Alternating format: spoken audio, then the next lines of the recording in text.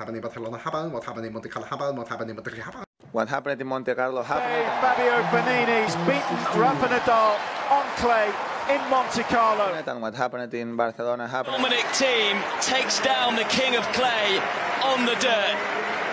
What happened in Madrid happened. Ah, You know, Rafa getting very good at speaking much faster. I'm going to try a couple of tongue twisters.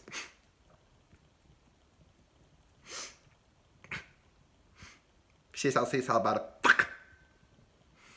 Esaseta barbar tak. Ama çok oldu kadar çak çak ebe kaça. Fuck. Fuck. I'm sorry. I